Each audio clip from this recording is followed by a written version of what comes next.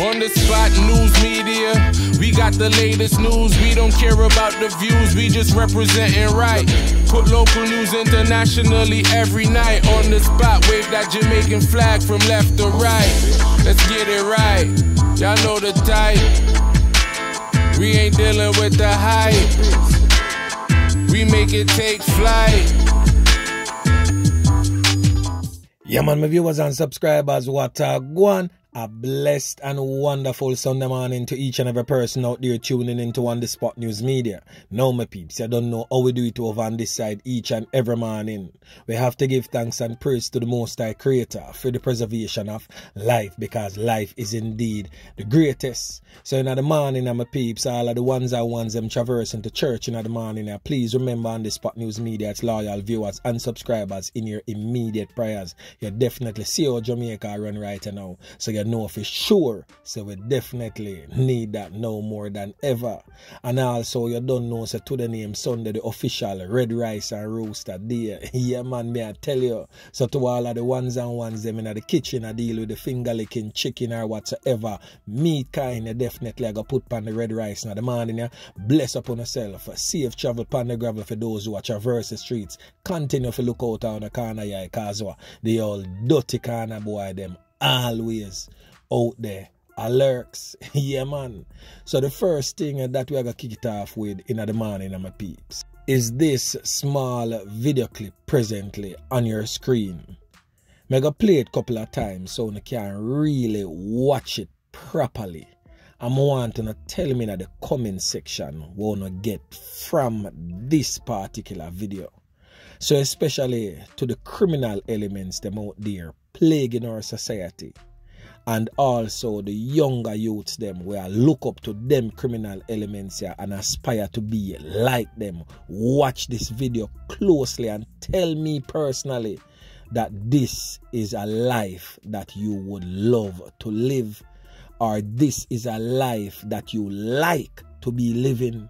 Tell me now my peeps how heartbreaking is this video the son of the accused man in the handcuffs. I'm not sure what he's charged for, so I'll not say certain things in regards to him.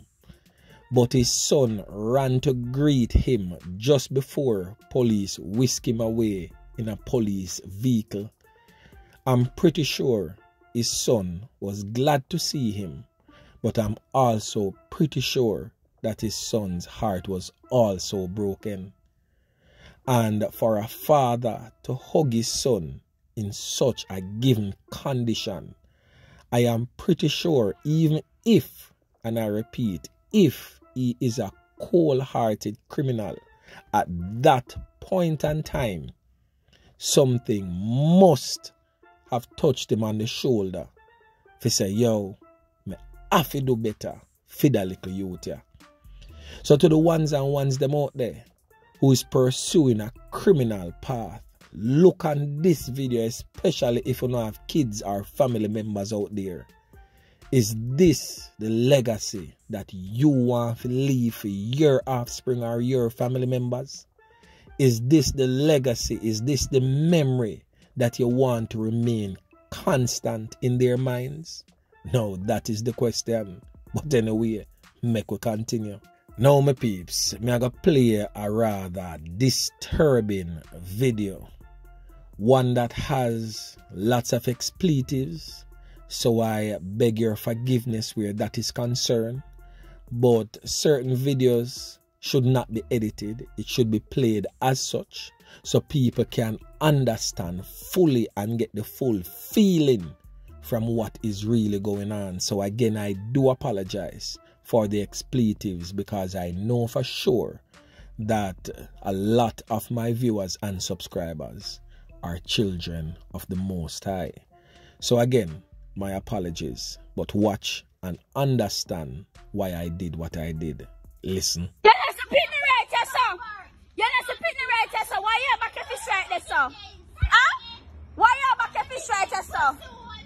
not right sir.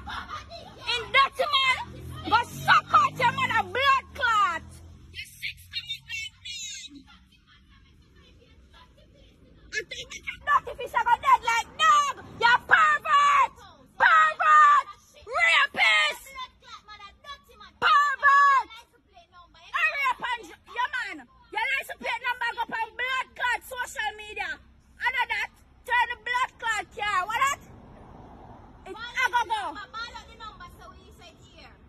seat. Ball it out for me, Kim. Can't see a rotty thing. Look at that pervert. Ball out that number there for me now. Wally baby, Wally baby, Wally baby. Wally baby. Him drive off yet?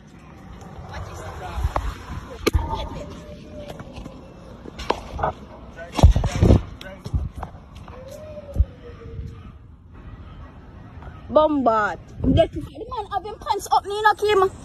The man pants up more. I never talk about why me a pint. So now, my peeps, after watching that disturbing video, on the spot news media got a barrage of reports from females all over the corporate area that this man has been at this type of disturbing behavior for years not just a year ago, you know. Me I talk about over 10, 12, 15 years ago. This man is an habitual dirty type of man. We go around and go seek where he may find young girls, whether they're playing at their home or in a learning institution, and stand there and fondle himself until he ejaculates. Yeah, man, may I tell you, a real dirty man. So for those who did not get that license plate, his license plate number is 2406ER. So I hope that members of the JCF has his license plate and will definitely track him down and take him off the streets. On the Spot News Media has received numerous messages about this man stating that he is habitual in his dirty, nasty behavior. He has been spotted multiple times over the years at the St. Hugh's High School for Girls. He has also been spotted at the St. Hugh's Prep School. He has also been spotted at the Edna Manley School for the Visual Arts. He has also been spotted at the Mico practicing all school. He was also spotted multiple times along Arnold Road where they house some of the Mico Teachers College teachers. He was also spotted many times over by Mico. This man has been traveling all around. He has been seen behind Central Branch Alia School. He has also been seen behind the Chetolah Park Primary School. Now, this brother definitely a traveled the corporate area over the years and committing this same nasty act. He was also seen along the Edith Dalton High School roadway in Duhaney Park so this brother uh, definitely a menace to society. Many persons have also stated that this man was caught and beaten several times by men in the respective communities. It is also stated that he was reported numerous times about his nasty behavior to the police, but nothing was done. Now he is still at large committing these same nasty acts. In fact, this man is a man that used to run taxi on the road too. So can you imagine if he might behave this way where little girls are concerned? What he would do if he pick up the people in school picking in a taxi? Come on, people of Jamaica. Uno know where this little germs is. Uno need to flush him out. Yeah, man. And him over to the squad of them. I met the squad of them put him before the courts and have him dealt with in the most severe way possible. But anyway, my peeps, make we continue. Now, over there in the parish of Clarendon, it is said that these two men are no longer among the land of the living. yeah, man, may I tell you, say, a series of knockings and clappings go on involving a member of the Jamaica Constabulary Force at a party in Clarendon. Now, me I give you the official police reports as it relates to this particular incident. On your screen to the left in the full red is Clayton Pink, otherwise known as Chinny and also to your right a man known as Jerome Smith, also called Vibes. Both men are from the James Hill era in Frankfield, Clarendon.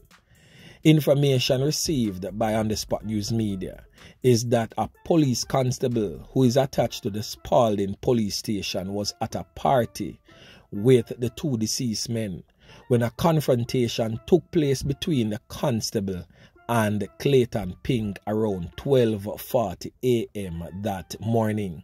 It is reported that Pink pointed a weapon in the direction of the police constable and the police constable took evasive action, took his firearm from his waistband and fired one shot in the direction of Clayton Pink.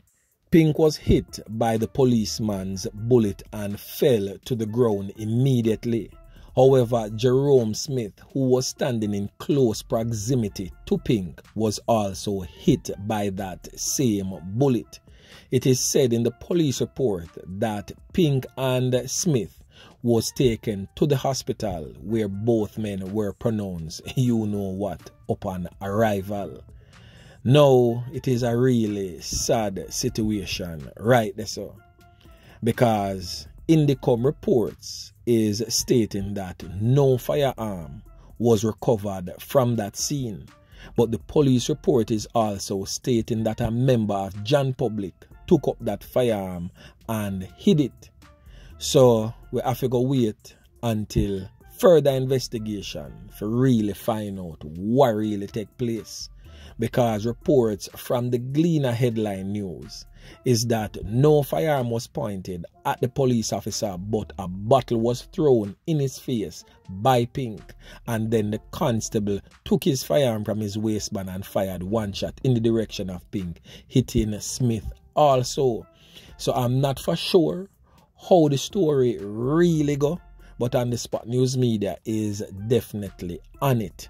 Because we really want to find out what really going in the altercation there.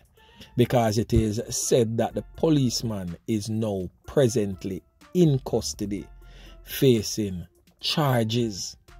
So i'm not for sure how all of this play out and why the policeman is in custody. So we definitely have to do some serious digging and uncover the truth behind this story because something definitely not add up.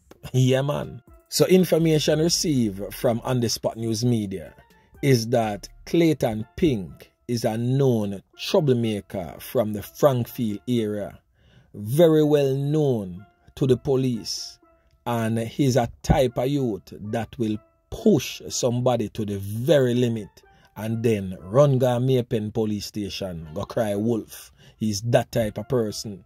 And not just one or two confirmation have gotten about his type of behavior. So persons are saying that they would not be surprised that he is the aggressor in that confrontation with him and the policeman as both of them are from the same area but he's a known troublemaker.